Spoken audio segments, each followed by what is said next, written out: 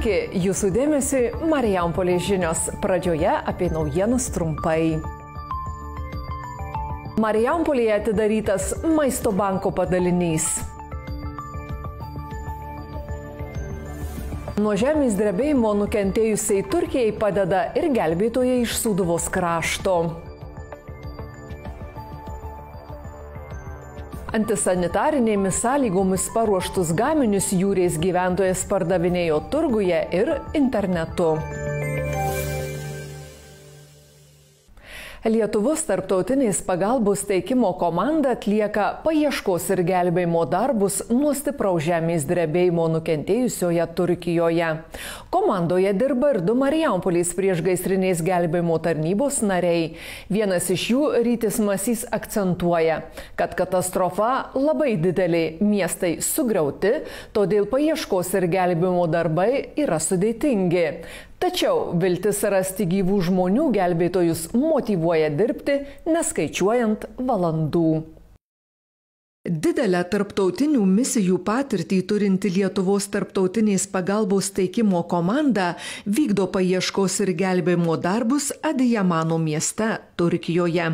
Lietuvos komandoje dirba ir du Marijampolės priešgaisrinės gelbėjimo tarnybos atstovai Tomas Pečkys ir Rytis Masys yra apie 40 žmonių, tarp jų yra ir trys kinologai, keturi medikai, tai visi kiti ugnigesiai gelbėtojai, kurie, kurie dirba tuos pagrindinius paieškos darbus. Dirbame kartu paieškose su kitomis komandomis, teko išvykti ir į kitą miestą padėti Lenkijos ir Čekijos komandoms O mūsų mieste, kuriame dirbame, tai, tai yra tikrai daug komandų iš viso pasaulio. Tai yra ir, ir čekai, ir amerikiečiai, ir prancūzai, ir, ir Sudanas, ir Bahreinas.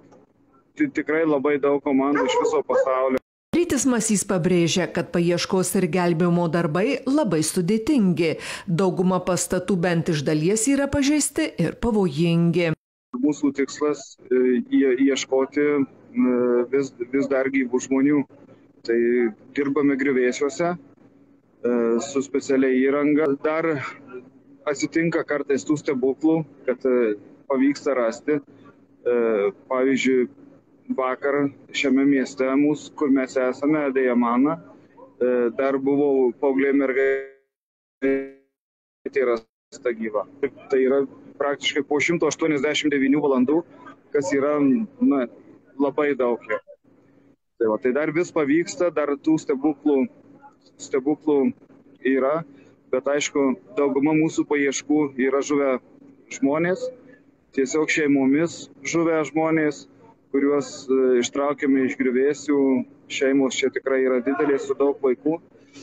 Ir sakau, paskui paskutiniam objekte, kur dirbome, tikrai daug, daug žuvusių, kadangi namas septynių aukštų, 400 gyventojų ir padarniai tikrai yra kraupus. Marijampolietis gelbėtojas pripažįsta, kad ši užduoti sunki ne tik fiziškai, bet ir psichologiškai. Tačiau vieninga profesionali komanda ir viltis rasti gyvų žmonių mus motivuoja, sako Rytis Masys. Kalbamės dalinamės patirtais, patirtais išgyvenimais, vienas kitą labai stipriai palaikome. Na ir be to mūsų, mūsų darbas ir kasdienybėje yra toksai, kad tas nelaimės matome kiekvieną dieną, tai tikrai esame užgrūdinti. Pavojų tikrai daug yra, kadangi pastatai yra nestabilus, pajudinus vieną konstrukciją galimos griūtys yra, tai labai turi būti didelis visų pirma profesionalumas, mokėjimas dirbti griuvėsiuose, konstrukcijų stabilizavimas ir dirbame, ir dirbame tiesiog po milimetrą, po centimetrą, kad įsigauti tarp, tarp tų griuvėsių ir atlikti paiešką. Čia yra labai sunku. Na ir darbo valandų tikrai neskaičiuojame, dirbame po 16 valandų ir dienomis, ir naktimis savo darbų nestabdėme, tiesiog nei, nei minutė pas pastoviai mums paskirtame sektorė vyko darbas. Rytis Masys pasakoja, kad miestas smarkiai apgriuvęs, žmonės gyvena gatvėse ir su viltimi laukia gelbėtojų paieškos rezultatų. kadangi nėra mieste nei elektros, nei vandens, neveikia kanalizacija, žmonės tiesiog gatvėse kūrena laužus, e, pristatinėjami jiems humanitariniai kroviniai, tai yra gerimas vanduo, maistas, e, žmonės sėdi prie laužų ir per naktį šildosi, nes tiesiog likę arba be namų, arba namuose negali būti dėl to, kad nėra elementarių sąlygų. Čia yra didžiulė katastrofa. Žuvusių kiekis e, artėja prie 30 tūkstančių. Žmonės, iš tikrųjų, mus vietiniai žmonės labai, labai stipriai palaiko ir, ir maistą tiekia, ir, ir arbatą. Tikrai jie mus labai stipriai palaiko. Bet ateina tas momentas, kai e, gelbimo komandos išvyks ir jie, tie žmonės, supras, kad e, gyvųjų rasti nebeįmanoma ir jie tikrai susidurs dar su didesnėmis psichologinėmis krizėmis. Vasario 10 dieną į Turkiją išvykusi Lietuvos komanda misiją planuoja užbaigti šios savaitės pabaigoje. Labdaros organizacija Maisto bankas, siekdama būti arčiau žmonių, plečia savo tinklą ir atidaro skyrius visoje šalyje. Šiandien padalinys atidarytas Marijampolėje. Tikimasi, kad skyrius ne tik rinks ir dalins maistą nepasiturintiems, bet ir vienys savanorius pasiryžusius padėti kitiems. Viena iš pagrindinių organizacijos veiklos ryčių - kova prieš maisto švaistimą. Maisto bankas, kovojantis prieš maisto švaistimą ir teikiantis pagalbą maistų skurstantiems, Marijampolėje įkūrė savo padalinį. Jo atidarime dalyvavo rėmėjai teikiantys paramą, savanoriai, savivaldybės atstovai. Labdaros organizacijos vadovas įsitikinęs, kad maisto bankas turi būti kuo arčiau žmonių. Todėl organizacija imasi atidaryti skyrius visoje šalyje, kad anot maisto bankų direktoriaus Lietuvoje neliktų alkanų žmonių. Vienas iš pirmųjų skyrių atidaromo yra Marijampolėje. Marijampolėje yra mūsų draugų. Vienas iš didžiausių mūsų draugų yra būtent Mantinga. Tad e, mums buvo labai natūralu, kad mes nutarėme skyrių visų pirma atidaryti Marijampolėje. Girdime, kokia savivaldybė yra palaikanti, tad norėtume vis dėlto ne tik čia būti fiziškai, ne tik patį faktą turėti, kad mes esame Marijampolė, bet labai norėtume ir kuo įmanoma daugiau padėti Marijampolės žmonėm, nes nepaslaptis, kylančios maisto kainos, didėjantis komunaliniai visokie mokesčiai, jie vis vien net ir vidutinės pajamas e, gaunančių žmonės, e, na, padaro tokią įkeblę situaciją pastato. Marijampolės savivaldybės mero pavaduotojas Artūras Visotskis skyriaus atidarime pabrėžė, maisto banko veikla svarbi keliais aspektais. Maisto bankas, na, aš manyčiau, vienas iš organizacija viena labiausiai skatinančių savanorystę, kas yra labai svarbu mūsų visuomenėje. Jūs atverėt ypatingą jaunai kartai tą galimybę na, padėti net lygintinai. Tai čia yra labai svarbu ir aš manau, kad tai viena iš mūsų visuomenės pamatinių vertybių yra. Kitas dalykas, mes sprendžiame socialinius klausimus. Mums kaip savivaldai yra labai svarbu, kad labai gerai direktorius paminėjo, kad reiškia, alkanų žmonių neliktų. Tarp maisto banko rėmėjų ir Marijampolės savivaldybės ūkininkas Povilas Žolynas nepasiturintiems dovanojantis savo ūkiją užaugintų daržovių.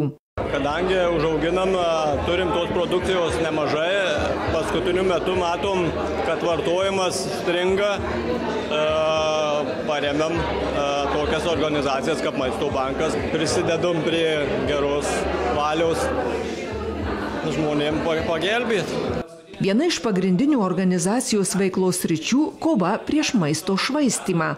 Todėl Maisto banko Marijampolis padalinys kviečia savanorius, kurie gali padėti rinkti maistą iš parduotuvių.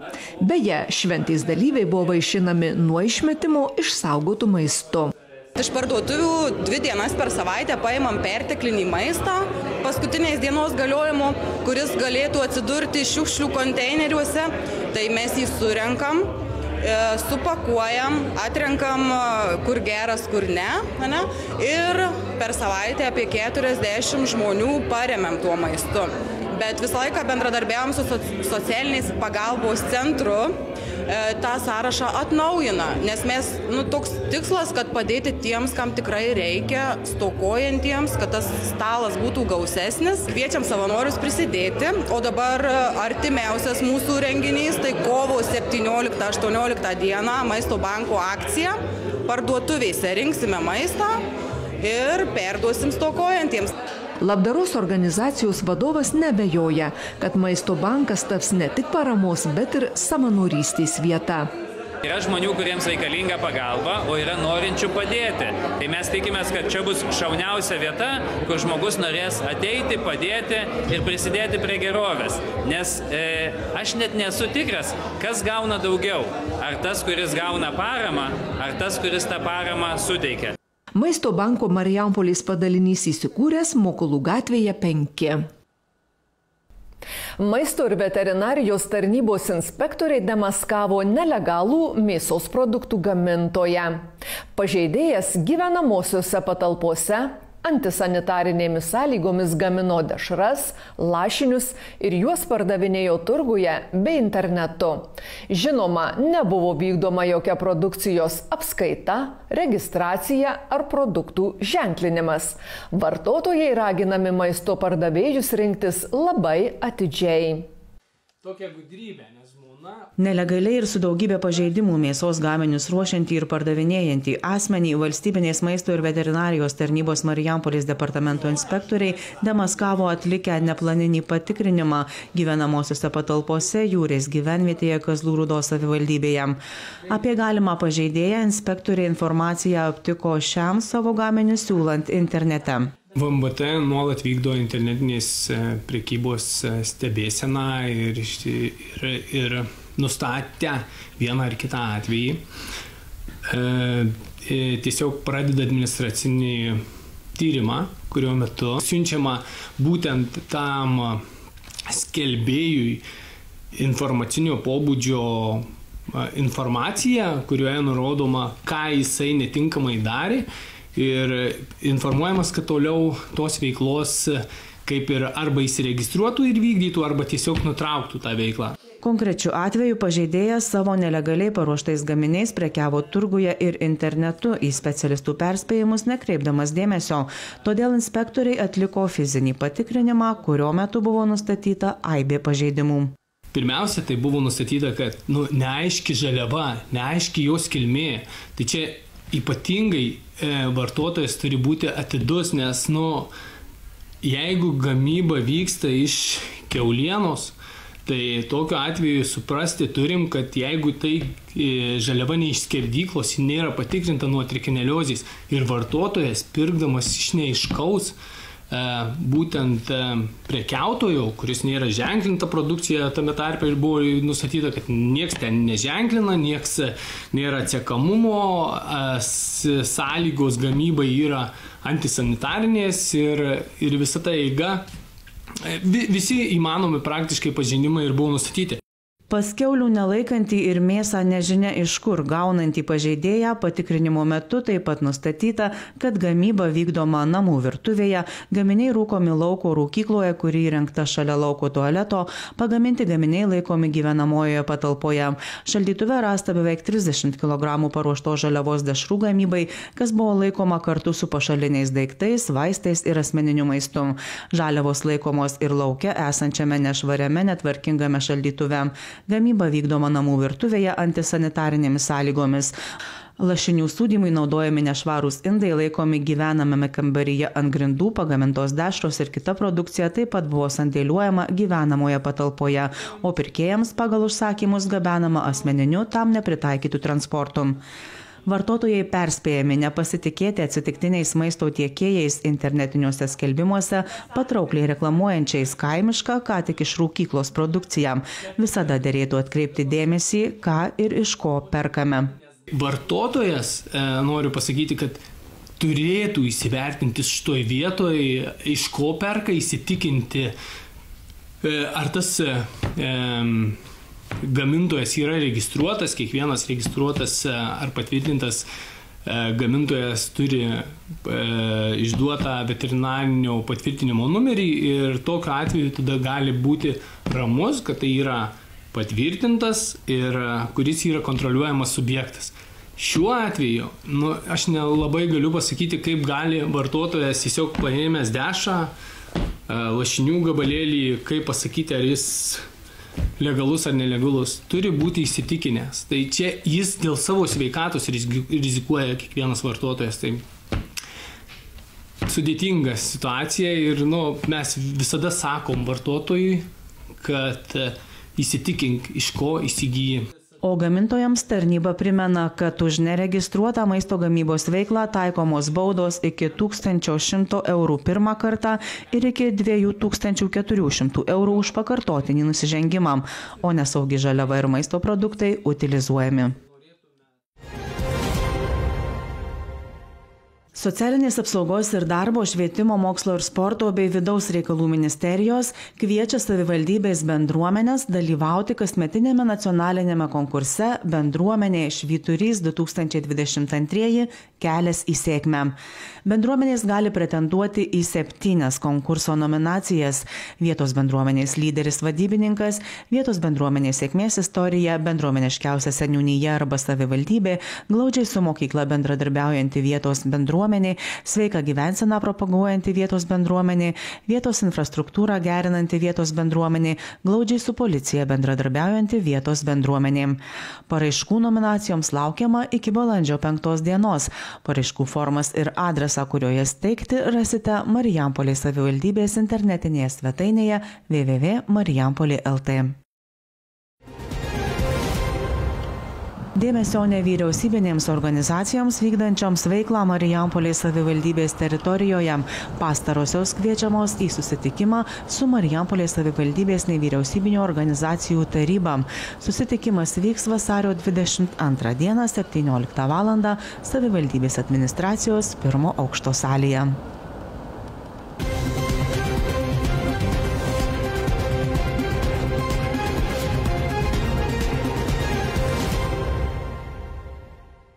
Marijampolės apskrities vyriausiasis policijos komisariatas skelbia sausio mėnesio statistiką. Per mėnesį komisariato aptarnaujamoje teritorijoje iš viso buvo gauta 2186 pranešimai apie įvairius įvykius. Iš viso registruoti 1268 kelių eismo taisyklių pažeidimai. Beveik 70 procentų jų išaiškinta. Nustatyta 70 neblaivių vairuotojų ir 68 asmenys neturintys turintys teisės vairuoti. Per mėnesį fiksuota 18 sukčiavimo atvejų, pradėti 28 tyrimai dėl vagysčių. Vakar pareigūnams su narkotinėmis medžiagomis įkliuvo 19-metis jaunuolis. Pareigūnai vaikiną patikrinę užtvankos birutės gatvių sankryžoje, pas jį rado galimai augalinės kilmės narkotinių ir psichotropinių medžiagų. Įtariamasis buvo sulaikytas ir pristatytas į ilgalaikio sulaikymo patalpas. Dėl neteisėto disponavimo narkotinėmis medžiagomis komisarijate pradėtas iki teisminis tyrimas. Štai tiek žinių paruošėme šiandien. Dėkoju uždėmesį, visiems linkiu jaukaus Švento Valentino vakaro.